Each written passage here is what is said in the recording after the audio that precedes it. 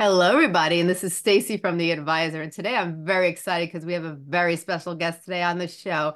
It is Garrett Keillor, and he is the founder of Lenders Academy, and he has some great knowledge he's going to share with you today, and you're going to be very amazed. So keep your ears on and listen carefully because what he has to say could be a life changer for you. So, Garrett, tell everybody a little about yourself and what you do. Awesome. Well, thanks for having me, first of all. Um, it's a pleasure to meet you. Pleasure. Um, you. you know, I'll just go right into my story. I, uh, I'm 30 years old now. I, funny enough, became a real estate agent when I was 18 years old. Wow. Um, you know, ran into the same issues that a lot of people run into. You know, everyone's mother, brother, sister, grandfather is already a real estate agent. And as yeah. a younger kid, you don't really come in um, you know, having a whole lot of connections. So um, I did it for a little while and then uh, went to college in Arizona. Um, started a couple businesses, sold one in particular, um, and then was lucky enough to move to New York.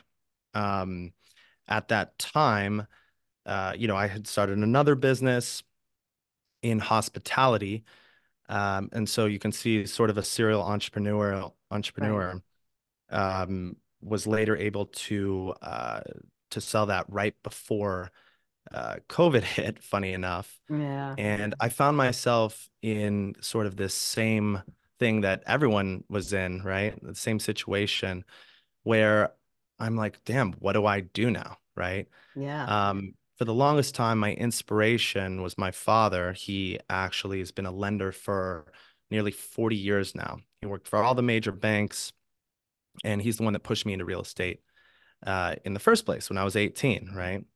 And so I didn't know too much about it. He's always been a good mentor uh, when it comes to both life and general skills, but also in real estate. I just never really understood um, you know how lending worked uh, until I really um, uh, started to understand his business and and when he described it to me, I was like, wow, why didn't you tell me earlier that you were doing this big of deals at this velocity and dealing with in some cases celebrities.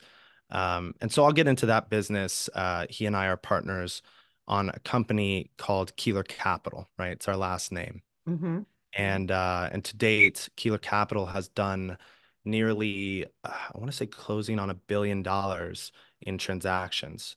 Um, and so we're we're a very small shop. We're a small shop based out of Newport Beach, California, and we do um, for the listeners that don't uh, quite know what hard money is or private money is. Um, you know, we do a lot of unique deals, mainly in the non-owner occupied space. So we are not the mortgage lender that's helping someone buy their forever home. We are the person who is helping, say, an investor do a $10 million fix and flip in Newport Beach or in Seattle, Washington. We're the, uh, the lender that is helping someone, say, pull cash out of their property. Maybe they own a $5 million property or $2 million property. Um, and they need cash next week for some business purpose. They're buying another property um, you know, they're starting a, a business outside of real estate, whatever it is, non-consumer loans, business purpose loans meant for uh, creating profit, right, for that mm-hmm. borrower. Um, and so uh, I was lucky enough to to get into the business quickly, learn from my father, and then uh, kind of expand on on what we were doing. Um, and so I've kind of given you a, an example of what mortgage lending is, right, versus what we do, which is first trust deed lending, right? Very similar. Um, you know, but we are only lending again to people who are uh, who are trying to make profits in real estate. Um, and so that's kind of the difference there is the someone's going to go live in the home. That's traditional mortgage lending. Someone's going to do for business purpose. That's what we do. And it's kind of interchangeable uh, between private money and hard money lending, like those two terms are mm-hmm. kind of interchangeable. Um, and so mortgage lending, it, it's a fun business. It's it's been great. Um, and I like to educate people now through uh, my course hard uh, course Lenders Academy. And so Lenders Academy, just to get right into it, I think that's where we're headed anyways. Um, and the purpose of this uh, interview, Lenders Academy is an all-in-one platform in which someone can go from knowing nearly nothing about real estate to uh, becoming a lender and nearly replicating my business. Now, there's one thing I should mention is that there's a divide in my business. Um, 50% of my business is, again, what we call private money lending. That's where I find a super unique deal and I go raise that capital from private individuals to fund that deal, right? Mhm. Yeah. So an example would be, again, say a fix and flip in Malibu, California. Mhm. Um, maybe it's uh, dilapidated, maybe the property needs, you know, $5 million in additional work, and we'll go ahead and we'll physically raise that money because banks do not want to touch it, right? They don't want to touch something like that. Now, what I teach is not that. I don't want my students having to go raise capital. What I teach is brokering uh, hard money loans to larger institutions. So there are other lenders out there um, that are doing billions of dollars in transa- transactions per month. And they look to brokers like me. If I'm not doing a direct deal, they look to brokers like me who have a super simple, say, million dollar fix and flip that doesn't need too much work, super safe. They'll Mhm. go up very to very high leverage points. Um, and as long as it fits within their credit box and what they're willing to do, they can easily fund um, deals that I provide, and I can ultimately earn a commission on those deals. So that's what I teach within Lenders Academy. So you had mentioned about private money and you mentioned about hard money. I think for a lot of listeners, they're, you know, they understand about um, investing in general, but they don't hear a lot about the concept about private money versus hard money. Maybe you can go a little Mhm. bit in depth and just like explain to the listeners the difference between the two. Yeah, a lot of people get get very confused, and they're it's it is a little confusing because without in-depth knowledge about lending, you know, uh, it's difficult to say where. Uh, well, look at it like a Venn diagram, right? Mhm.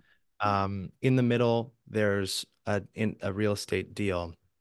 Now, a private money lender can fund this deal, and also a hard money lender can fund this deal, uh, depending on the deal terms, right? Yes. And the deal structure, um, and the property itself. Now, with private money, you always got to think, okay, what if it's more unique, it's going to probably head over to the private money side because larger institutions would like to do volume, right? So if you look at uh, Keillor Capital, for example, on the private side, we Mhm. do things like, oh, uh, the property is 25 acres, where a hard money lender, a institutionally backed hard money lender, likely wouldn't touch acreage over, say, 10 acres, right? Right. 15 acres, right?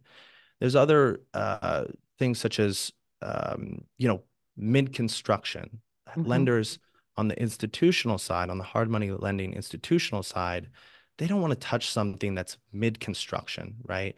It shows uh, a lot of risk within the property. It shows a lot of risk within the deal. Um, and so someone like that would need to come to the private money side in which we go to investors and say, hey guys, we have this borrower, we have this property, we believe in it. We're doing X amount of leverage, right? Low leverage. So we know for a fact, uh, you know, uh, they have a significant down payment to reconfirm their commitment to the property and the deal. Mhm. Um, and we'll bring that to investors and we'll say, we believe in this deal. Would you like to fund it? And ultimately, we'll, we'll raise capital at say 10% uh, or 12%. And then Mhm. we'll take a small spread in between there, right? So we'll take a small spread within the interest rate. Right. Um, again, on the hard money side, if it's a simple cookie cutter fix and flip or like a rental property, I'll go bring that to my institutional lenders, my investors, my capital partners there, and they'll fund that thing in two weeks, three weeks, Right. right? And so for those, it makes a lot more sense for a borrower to go to the institutional side because they'll get higher leverage. They'll get more money on the purchase if it's a purchase, right? Right. If it's a refinance, they'll get more money on the refinance. But on my private side, investors, the individuals, the high net worth individuals that I need to invest in these deals, they want to make sure they are not going to get screwed by someone who isn't going to pay, say, in month two or three, or maybe the project fails. Right. When, now, when you look at lending as a whole, um, even when you look at, say, Chase Bank loans, right? Right. What's the collateral for these lenders, right? Yeah. If someone stops paying, obviously the property will go into foreclosure and that property that property will be taken back. Now, collat the collateral is the actual down payment. Right. And when you look look again at this private money side, you say to yourself, okay, well, what's the benefit? What's the um, protective factor for someone who's going to invest in my private money deals? Well, right. it would be, say, a 40% down payment or a 35% down payment. Mm-hmm. Whereas in on the institutionally backed hard money side, mm-hmm. you're going to see um, something like a 20% down payment. Right. But they're doing hundreds and hundreds of loans and they just they're okay with some people foreclosing. They just want to make sure the majority of the loans are good. And in that way they can be more effective and more competitive on bringing clients in. Right. Right? So it's really about leverage, deal uniqueness, right? Deal risk Mm-hmm. and so that's that's the entire. Um, I think that's a good explanation when it comes to uh, deciphering the differences between private money and institutionally backed hard money. I know it's a it's a clear nuance there. and Not No, many people get a front row seat in. it's actually clear and concise. I I get it. I get it. And Mhm. you know, I, I was wondering, does is when it comes to um l- uh, mortgage lending and it comes to you know a brokerage re- lending and stuff like that, if someone's interested in doing this, is it hard to get into this field? So traditionally speaking, yes. Now I'll start with traditional mortgage lending, right? With traditional mortgage lending, you need to have a real estate license and you need to have an NMLS license if you're doing those consumer loans that we don't do. Right. Right.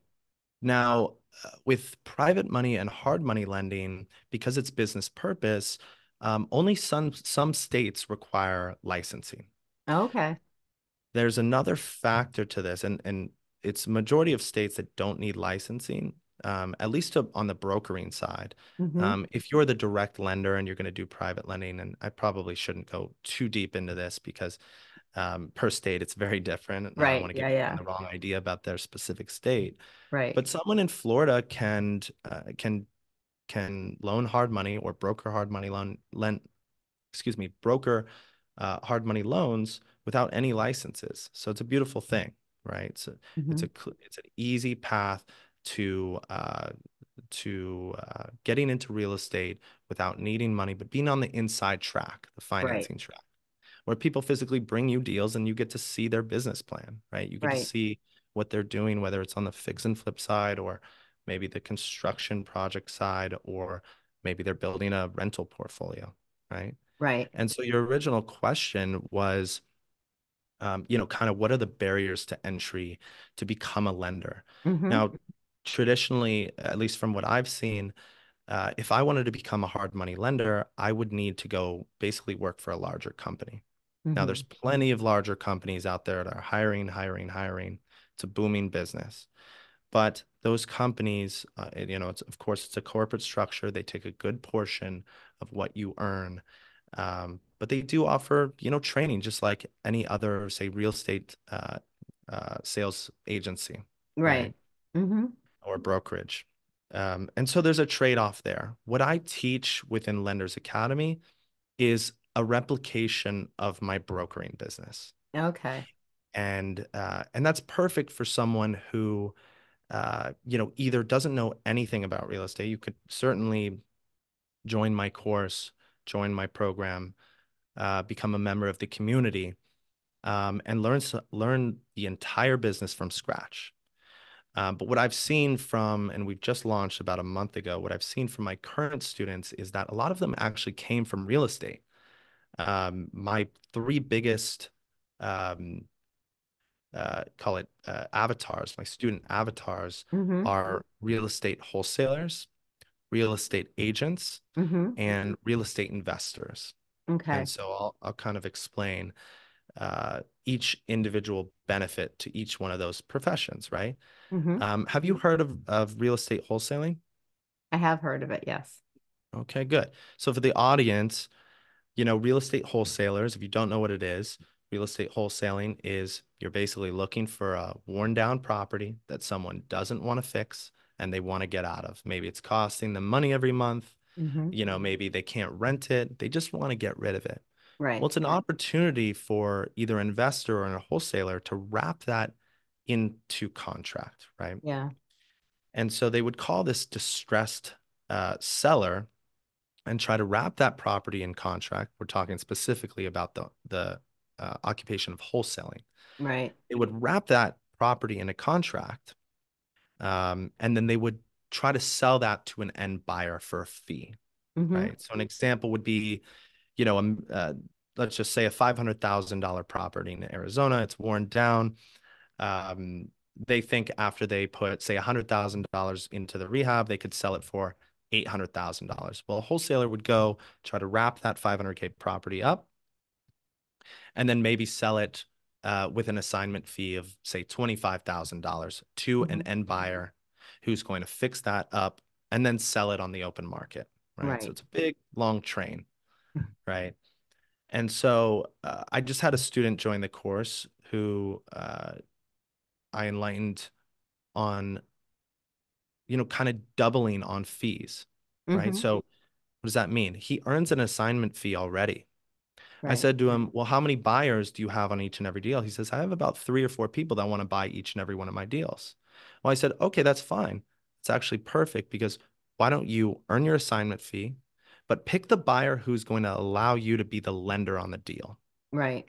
right? And so for wholesalers, there's a huge benefit for them to earn, say, 2% on a loan amount, hmm right? Which could be $400,000 loan amount. So an $8,000 fee with a $2,000 processing fee. They might earn 25,000 on the assignment fee and another $10,000 on the loan fee, Right. right? So that's a huge benefit. Then there's the real estate agents who, you know, I've seen in some cases a 90% downtick in uh in uh, business since COVID. Right. COVID rates were low and and everyone was doing super super super well, Right. right? Those same real estate agents maybe have gotten used to a lifestyle now that they can't afford. Yeah. Um, now to combat that, they can actually represent a buyer or a seller. And in terms of just representing buyers, they can offer them uh, the service of actually being their real estate agent, finding their property, Right. negotiating, you know, doing the whole all the contracts. But they can also say to the buyer, "Hey, listen, I'm also a lender. Um, I can be your lender on this fee, on Right. this uh, on this property, right?" hmm The last thing would be, and I'll go into uh, my own portfolio as an example, would be um, for real estate investors. Now, I have two real estate investor students that aren't necessarily going to go uh, lend money out, right? hmm But they do want to be sort of finger on the pul pulse when it Right. comes to knowing rates, not hmm being upcharged on rates, Right. right? Not being upcharged on fees, physically earning fees on their own transaction. Right. And so I just had a, a student come to me and say, Yeah, I've paid nearly $300,000 in fees over seven different transactions. Um, I brought up my own portfolio to him. I said, Listen, I own nearly $12 million in real estate um, that I've accumulated over the last four to five years. hmm And I've done each and every one of the, those loans for myself, Right. right? Those are rental properties. I, I do, uh, I have a larger Airbnb portfolio. hmm Right. Mostly in in Scottsdale, Arizona, which was an amazing market. Yeah. Um, but I went ahead and I saved myself nearly $280,000 in fees that I would have ultimately paid to someone like me, Right. right? Um, in some cases, lenders will upcharge the rate, and you don't really know what's going on in the back end. Yeah. So it's uh it's a substantial advantage for someone to be on the inside track of either lending to someone else, right? No, hmm or lending to themselves in a way, Yeah. right? So I hope that makes sense. No, that definitely Mhm. makes sense. So this course, how can people get involved in your course? Yeah, absolutely. So you would go to lendersacademy.io. That's lendersacademy.io. And you would just watch this simple video. I have a little educational video. Sign up for a call for me. I don't accept everyone. Um, but uh, you know, we're we're gaining steam, we're getting lots of people, we're getting lots of interest. And um, as long as the person seems like they would be successful um, in the occupation, I go ahead and push them, um, you know, to ultimately join our community and our course. Hmm. Now, is this mainly focused for real estate agents, or this is really a broad verse of, of uh, of occupations in the real estate area. So there's different types yeah. of occupations that would fit into this course. Yeah, I would say that it makes a whole ton of sense for someone who's already in real estate. And when I was first creating the course in the community, I said to myself, well, what if I want to make it so that anyone can do it? Right. Mm-hmm. And so the course is so broad, it goes into elementary level real estate. Like what mm-hmm. is a single family home, one right, to four right. units, right? Mm-hmm. Um, uh, now there's there's uh, a portion of that, but then it quickly goes into lending, into financing. It goes into the math equations necessary to actually become a lender. It's things you got to yeah. know. It's not too difficult. It's not rocket science, but there isn't an educational platform out there today, or there wasn't until Lenders Academy, that can actually teach someone to become a lender without them having to go the traditional route, the corporate route of working for someone else and getting half their fees taken away. Right. Right. There's one more thing I want to mention about Lenders Academy that I equip my students with. You know, the course itself is about 107 videos. It took mm-hmm. me nearly nine months to to create. Right. Um, and I wanted to be this holistic thing. You see, you see a lot of gurus these days selling what is, I don't know, 50, 60, 70% of a business. Yeah. Lenders Academy is the full thing, start to finish, with ongoing support, one to two calls a week. Uh, we do group calls a week where people can ask questions because there's so many scenarios within real estate, right? Whether you're a yeah. real estate agent or a wholesaler or a lender, right? Right. And it takes someone with knowledge to go through the, you know, 10,000 scenarios that there could be. Yeah. Right? So I really wanted to make sure that my students were getting everything on their own as far as like the pre-recorded messaging mm-hmm. as well as the ongoing support um, so that no one gets left in the dust and feels like oh damn i wasn't able to learn you know? Yeah. Um, i would say 50% of its value though is the vetted um, lender and capital partner sheet that i provide to my lender. So every lender and every capital partner that i use in my own business for my own loans I supply a direct relationship to the reps at those firms, funds, and family offices.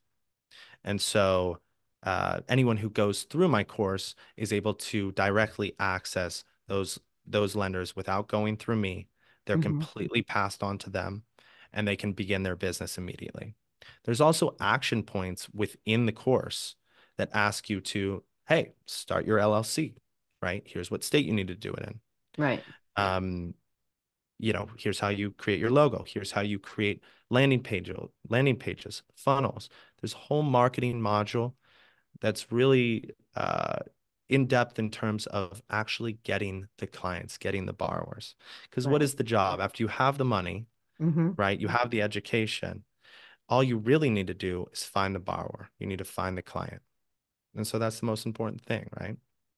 And that's yes. how you're just bringing in business bringing in business. So if you mm-hmm. had to say like what are the top three benefits like from your your your program, you know, you just went over like what are some of the the main benefits that people are going to walk away from that they didn't have previously when they came into your program? Yeah, um, that's a great question. Someone asked me this uh, the other day. One of the main benefits I think is an opening of anyone's eyes, really, an opening of your eyes, right? Mm-hmm. Every building, look around at your neighborhood, right? Whether you live in a you know an apartment building or a gated community or a, you know big city a small city whatever it is nearly everything was built off of debt mm-hmm. right? Everything. Our country is built off debt. We owe so much money to many other countries um, to our own people really. Mm-hmm. and um, and so it's important to know how financing works and it's important to know the rules within financing so that it isn't just a question mark, right? Mm-hmm. Uh, you don't want to look at the world and, and just kind of stumble on by and say, oh, I don't know how that how that skyscraper came about, right? Yeah. Someone didn't come in with cash. They likely took debt um, from a bank, you know, from a private investor. They ty- Right. likely took money from someone else to make that dream a reality. And Right. so I would say that's the biggest, the biggest, biggest uh, benefit to to becoming a lender and learning financing, right? And what do you say Um, like, some of the maybe uniqueness of your course? Because you know, and there's so many courses out there. What makes yours so unique uh, compared to others out there? yeah, there's a ton of real estate courses out there. Like I- I'm, I really hate being the pushy salesman and and and you know, if you're interested in wholesaling, go do wholesaling. If you're Mhm. interested in being a real estate agent, you want to be on selling Sunset, go do that that's your Yeah. dream. Um, the beautiful thing about lending is that you never have to leave your desk. Right. Um, you know, I hate to rag on real estate agents, but uh, you know, uh, I've been one, right? I've Right. I've physically lived it, and I know the struggle of walking a couple to 10 different homes, them saying, yes, we're going to buy, buy, buy, buy. You spend Mhm. about 10, 12 hours walking them through walking them through homes and they never buy. They say, oh, maybe next year, right? Right. Well, with lending, again, you don't have to leave your desk. Right. Even when we do appraisals, the appraisals are ordered by the actual capital partner, Right. right? So someone Mhm. goes out there and does an appraisal. You don't need to even be in the same state. I do loans.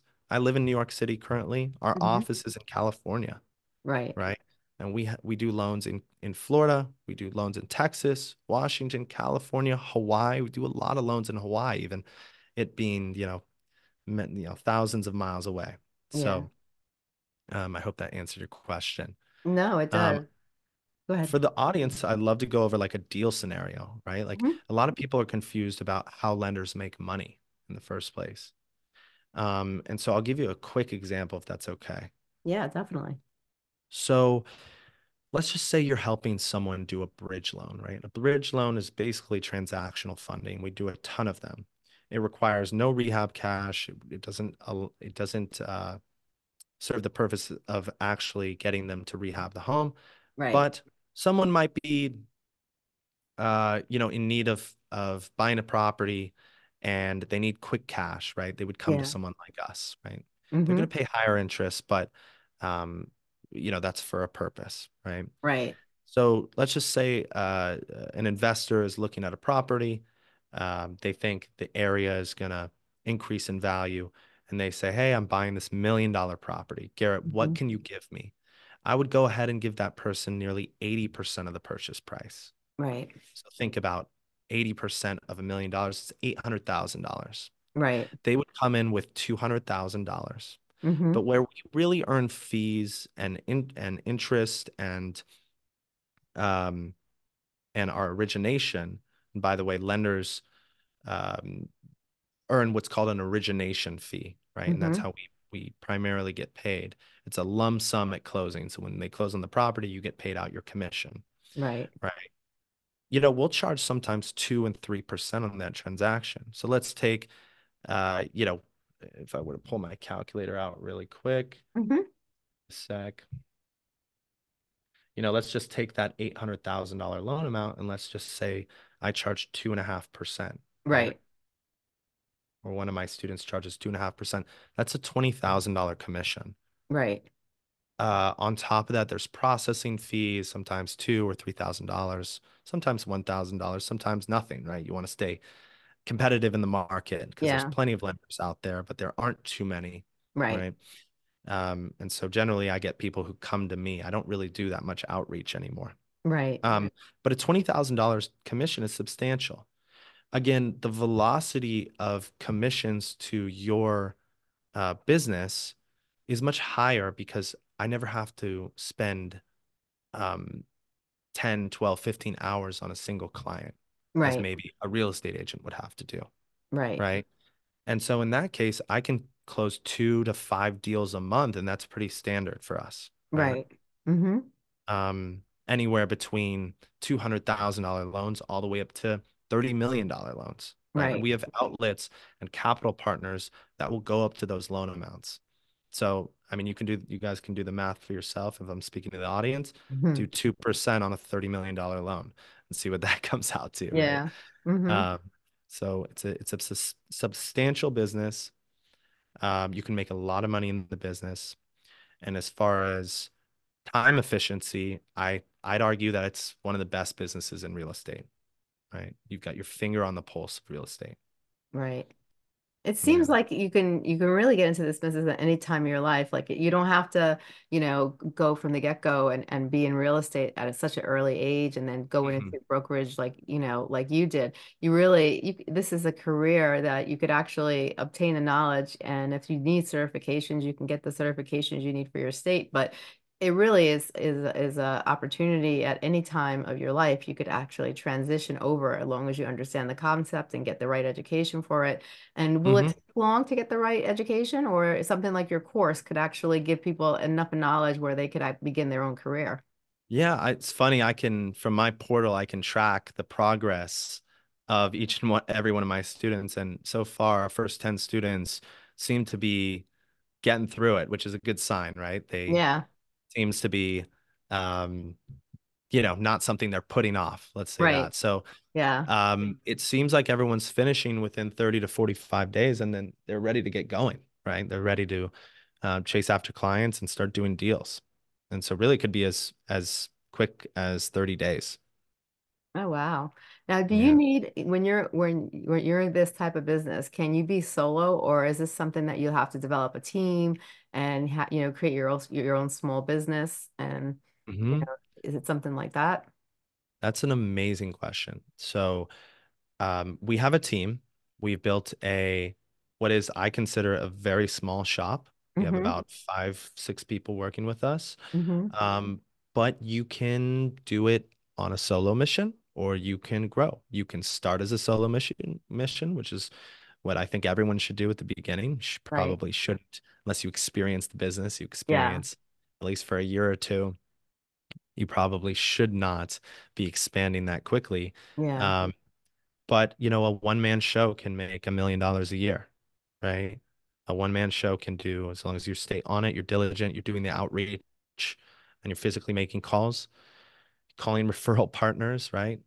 Um, Right. and you're bringing in business, you can make a six to seven figure, what I think is called a salary, right? Your Yeah. business can make six to seven figures um, within the second year.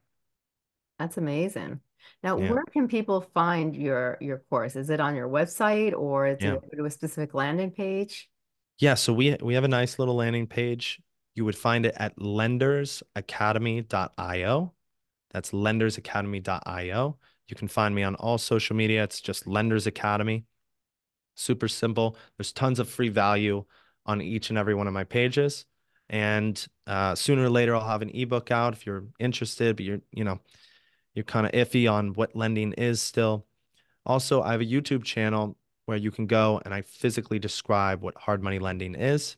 And I describe uh, a little bit more about, uh, you know, my income streams. And, you know, I have multiple within real estate, such as my uh, rental portfolio, which I had mentioned. But um, it's a great place to go for free value, for free education, and uh, and ultimately uh, look forward to seeing you guys there. And do you provide any other services besides the coaching, besides the ebook? Um, you also provide your own services to clients as well if they need your services. Yeah, we're rolling out a one-on-one one-on-one uh, mentor program. Mm-hmm. So people who want to be essentially handheld, right, Mm-hmm. all the way through through their first transaction, we do something like that as well. Um, that can be added on to the program later. Um, if you're looking for a hard money loan, feel free to reach out. G Keillor at keillorcapital.com. Um, aside from that, you know, uh, we take investor capital if you're looking for a 10, 11, 12% return on our private money side.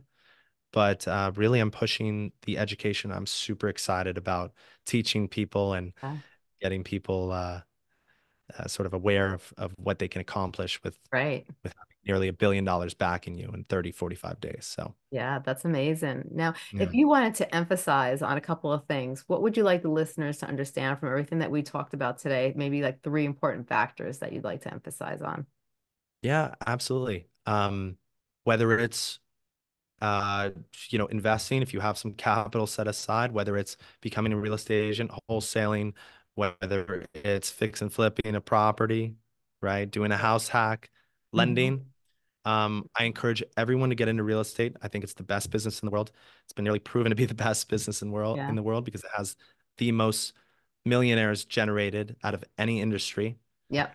Um, and that's a mere fact. And uh, it's changed my life. So um, you know, I'm super happy about it. And mm.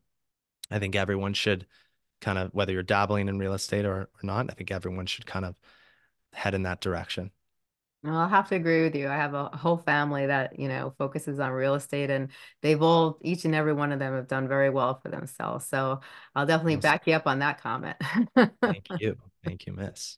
Well, mm-hmm. this has been amazing, Garrett. Before we go, is there anything else you'd like to add to the conversation?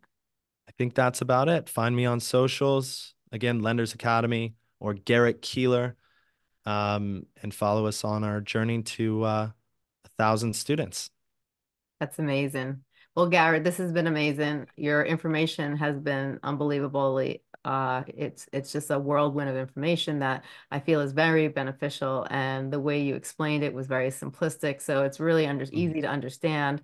And I definitely think it's something that you know if people are interested in or ha always have been interested in, and they haven't really pursued it yet, this is definitely the time I think to maybe step back and think about you know what you want for your future, and uh, you know definitely check you out.